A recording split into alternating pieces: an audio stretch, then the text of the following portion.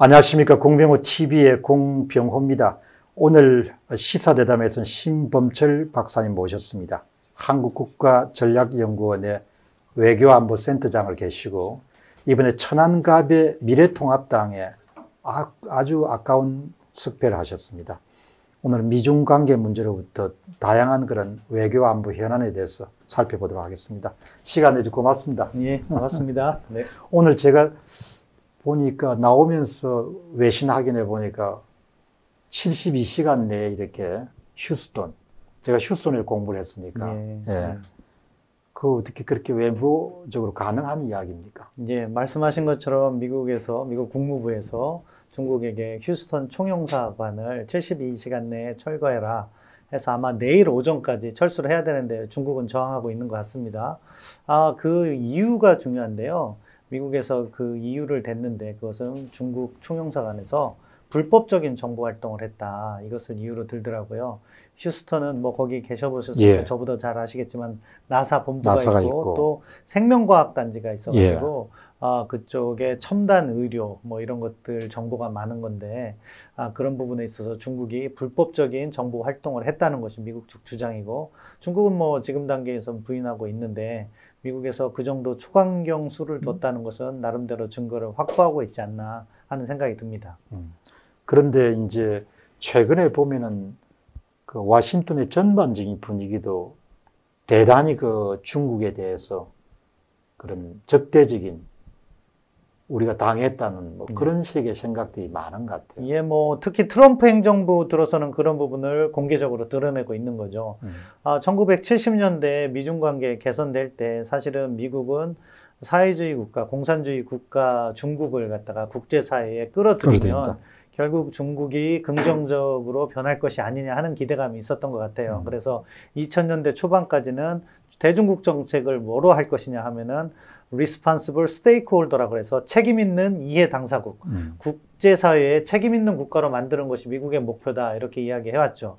그런데 중국이 이제 경제적으로 부상을 하다 보니까 처음에 중국의 이야기는 뭐였습니까? 사실 중국이 처음부터 도광량해라고 이야기했던 건 음. 딴 마음을 먹고 있지 않았나 하는 생각을 드는 건데 음. 2000년대 중반 정도 들어가니까 중국이 경제력이 어느 정도 부상했고 특히 2007년이 중요한데요. 그때 잘 아시는 그 리만 브로더스 사태로 인해서 미국이 경제난을 음. 겪으니까 아 이제는 미국하고 한번 해볼 만하다 그런 이야기를 하면서 시진핑 주석 들어서 1대1로를 추진하게 되잖아요. 음. 그 1대1로라는 것이 결국에 어떻게 보면 중국의 세력권을 만들겠다 하는 거기 때문에 미국도 그때부터 알고 있었던 거죠.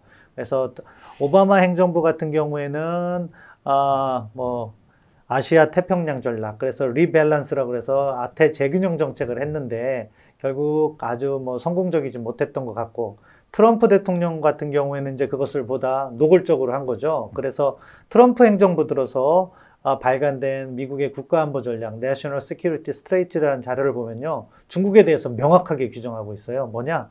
수정주의 국가다. 미국이 추구하는 수정주의 국가다. 아, 자유민주적 기본 질서에 대한 수정주의 국가다.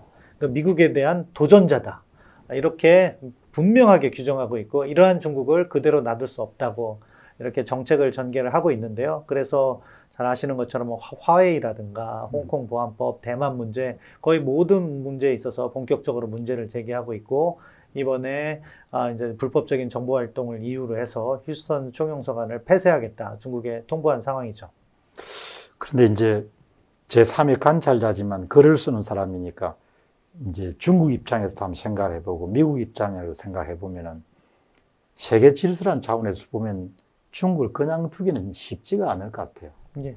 저 사람들이 그냥 계속해서 자기 체제를 그냥 그냥 수출하니까 그렇죠. QR 코드도 수출하고 뭐 안면 기술도 안면 인식 기술도 수출하고 뭐 또 신장 위구르 같은 데서 그런 탄압한 기술도 자기들하고 우호적인 관계를 맺는 나라들에게 수출할 수 있지 않습니까? 네. 그러니까 미국의 입장에선 그런 거죠. 중국이란 나라가 결국에는 미국과 같이 자유민주 체제를 지향하고 있다고 하면은 그렇게 큰 위협으로 보지 않을 거예요. 예. 결국에는 뭐 세계를 갖다가 분할한다고 하더라도 같은 질서, 같은 가치를 공유하면서 공존해 나갈 수 있는 거죠. 그런데 중국이 지금 어떻게 보면은 등소평 때부터 시작된 그러한 개혁의 방향이 시진핑 주석 들어서는 변화하고 완전. 있는 거죠. 오히려 과거 모택동 때로 돌아가는 것처럼 통제를 강화하고 예, 중앙 정부의 그 파- 힘을 갖다가 더 실게 하는 그런 쪽으로 가니까 어떻게 보면 미국으로서는 위협으로 느낀 거고 그러니까 수정주의 국가라고 공식적으로 규정을 한 게 된 건데요. 뭐 중국의 입장에서는 저도 뭐 과거에 뭐 외교부에 있을 때나 그 밖에 뭐 전문가로 활동하면서 중국 측 인사들을 많이 만나봤는데 그들이 지향하는 가치는 상당히 좋은 것을 입에 올려요. 그래서 이웃 국가의 뭐 친선해용 그러면서 이웃 국가와 잘 지내겠다 뭐 이렇게 이야기를 하고 있지만 그 이야기의 중심에는 항상 뭐가 있냐? 중국이 주도를 해야 된다는 중심. 그런, 예. 그러니까 자기 나라 이름도 중국이 되는 거고 어떻게 보면 그 중화 사상이 어떻게 보면은 중국 중심주의적 사상이라고 보는데 그 사상을 버리지 못하면 결국에는 강한 국가들, 특히 패권 국가라고 할 수 있는 미국과 충돌할 수밖에 없는 구조적인 이유가 있었다. 중국의 입장에서는 과거에는 도광량이라는 것은 결국 그때는 등소평 시대 때 나왔다는 건 뭐예요? 힘을 기를 때까지 그 칼빛을 숨기자는 거잖아요. 그러니까 그때는 자기들의 역량을 키우는 데 집중을 해왔는데 지금은 뭐 유소자기를 거쳐서 분발유의 뭐 여러 가지 표현이 나오고 있는데 이제는 더 이상 힘을 숨기지 않겠다. 제가 지도 하나를 보여드릴게요. 이, 이 지도인데요. 예. 이게 작년에 이코노미스트에서 나왔던 지도인데 중국이 이렇게 미국에 대해서 큰 소리를 내는 배경에는요 군사적으로 저도 적어도 동중국해와 남중국해에서는 어느 정도 경쟁력을 갖췄다고 판단하고 있는 것 같아요. 아, 제일 중요한 것이 여기 DF-21D라는 미사일과 예. DF-26 미, NTC 발라스틱 미사일이라는 건데 이게 뭐냐면은 항공모함을 격추하는 탄도미사일이에요. 아하. 그렇기 때문에 이 지역에 미국의 항공모함 전단이 올 경우에 자신들의 둥펑 미사일이라고 하는데 둥펑 21이나 26으로 항공모함을 격추할 수 있다는 자신감이 생긴 거죠. 이거를 미국이 이런 미사일을 개발할 때 중국의 의도를 포착하고 이야기한 것이 ADAD, 아, ACAD죠. Anti-Access Area Denial이라고 해서 반접근 지역 거부 전략을 갖다 중국이 구사하고 있다고 했는데 이러한 미사일들을 실전 배치하면서 정말 미국의 그 해군력이 중국에 가까이 오는 것을 차단하는 역량을 갖추어 나가고 있는 거죠. 이러면서 또 이제 항공모함을 이제 한 대를 갖고 있는데 한 대를 더 이번에 진수를 했고 그것도 점점 더 늘려가면서 이제는 원거리 작전 능력까지도 확보하려고 하니까 아, 미국으로서는 어떻게 보면은 견제를 할 수밖에 없는 거고 중국의 입장에서는 아, 이제 우리도 이 정도 국력이면 미국에게 목소리를 내도 되겠다 하는 그러한 상황에 접했기 때문에 앞으로도 이 미중 경쟁은 더욱더 치열해질 수밖에 없다. 그럼 저기서 이제 남중국해라든지 동중국에 제해권을 가지면 이제 일본이나 한국에는 수송로 를 확보하는 문제가 굉장히 큰 문제가 되겠네. 그렇죠. 이게 상당히 중요한 그 우리 문제인데요. 문제네요, 저게. 예, 예, 저게 우리 문제입니다. 시진핑 주석이 트럼프 대통령하고 처음 만났을 때가 2017년 봄이었을 거예요. 네. 그때 어, 이제 트럼프 대통령의 플로리다에 있는 리조트에서 만났는데 그때 중국 측에서 했던 이야기가 이렇게 언론에 나왔는데 태평양은 미국과 중국이 공존할 수 있을 정도로 넓다는 이야기를 했어요. 그건 뭐냐?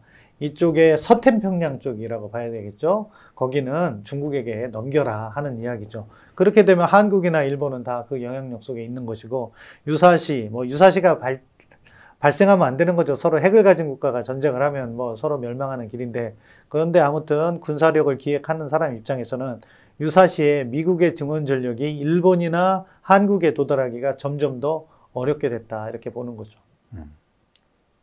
그 그런데 지금 홍콩 같은 데 대해서 하는 걸 보면은 저 사람들 하에서는 어떻게 우리가 살아가겠나 그런 생각이 많 그런 생각 한 사람들이 많았을 거예요.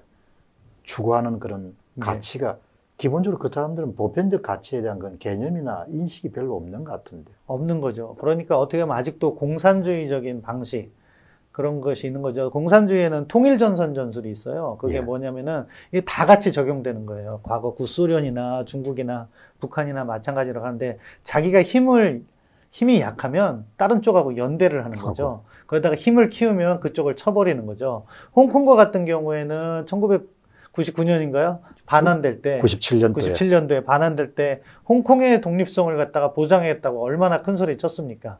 아, 그렇지만 시간이 지나고 자기들의 영향력을 갖다가 확산시켜야 되는 시점이 오니까 과거의 역사, 약속은 손바닥 뒤집듯이 뒤집는 거죠. 그렇죠. 마찬가지로 지금은 미국의 영향력, 미국의 국력이 훨씬 큰 상황에서 한국이라든가 일본에 대해서 하는 약속은 훨씬 더 부드러울 수 있지만 중국의 영향력이 미국을 넘어서는 그 순간이 되면 한국에 대한 태도나 일본에 대한 태도는 달라질 수 있다. 이 점을 우리가 알아야 되는 거죠. 중국을 무조건 적대시할 필요는 없다고 생각합니다. 하지만 그러한 중국에게 지금과 같은 행동을 해서는 안 된다는 메시지는 분명히 전달해야지 합리적이고 지속 가능한 한중 관계가 만들어질 수 있다고 봅니다.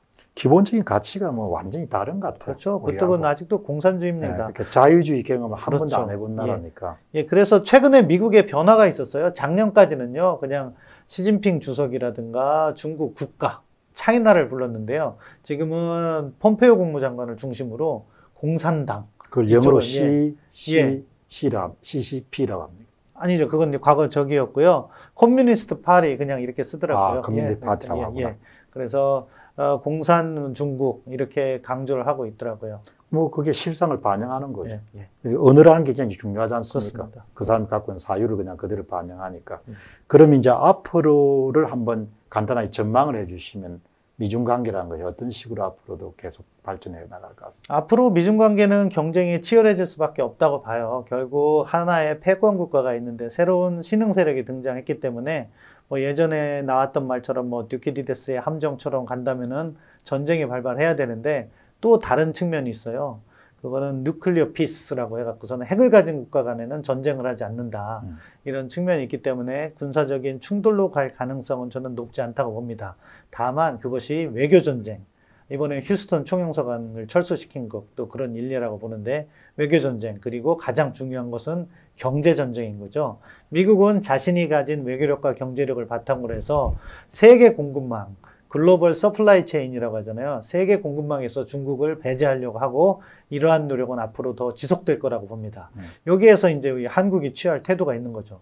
지금처럼 어정쩡한 태도를 택하다가 잘못하면은 우리가 미국으로부터도 버려질 수가 있다. 그러니까 유의를 해야 되는데요. 이 가는 속도는요, 그 다만 약간 다를 수가 있어요. 이게 이제, 어, 현실 외교 측면에서는 우리 정부가 많이 고민을 해야 되는데, 트럼프 대통령이 11월에 당선이 된다. 그러면 트럼프 2기에서는요, 중국 때리기가 훨씬 더 본격화될 거예요. 지금 트럼프 대통령은 약간 이중적인 측면을 보여요.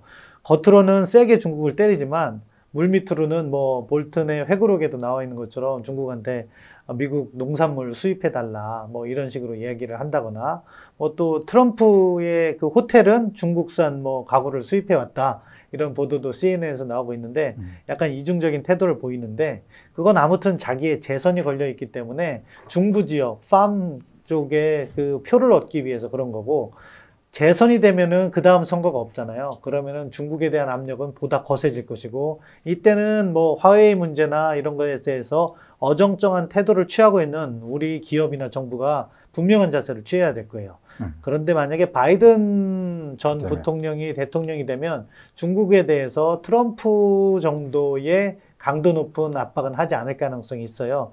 이때는 또 우리가 그 추이를 보아가면서 합리적인 선택을 해야 되는 거죠.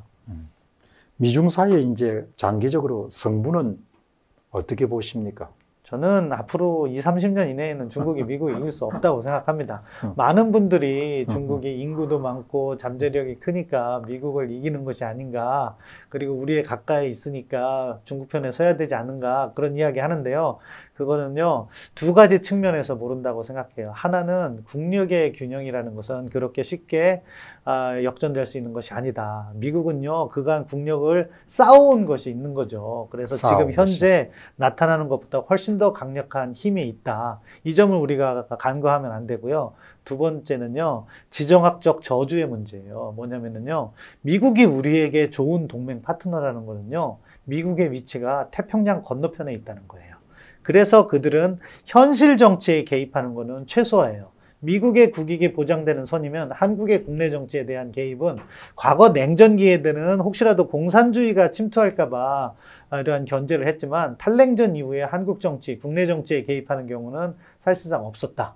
근데 중국과 같은 경우에는요, 바로 그렇죠. 붙어 있어요. 모든 것이 다 연계되어 있기 때문에 그런 일상적인 정치적 개입을 우리가 목도할 수 있다. 이 점을 알아야 돼요. 따라서 뭐 겉보기에 중국이 지금 부상하고 있으니까 부상하는 쪽을 택해야 된다고 이야기하는 것은요, 정말 단견이라고 생각합니다. 무식한 거지. 예, 정말 그렇습니다. 그럼 미국 가서 그냥 미국의 대학들 한번 둘러보면 그 다음에 그렇죠. 뭐 예. 그냥 생각이 달라질 수 있을 것 같은데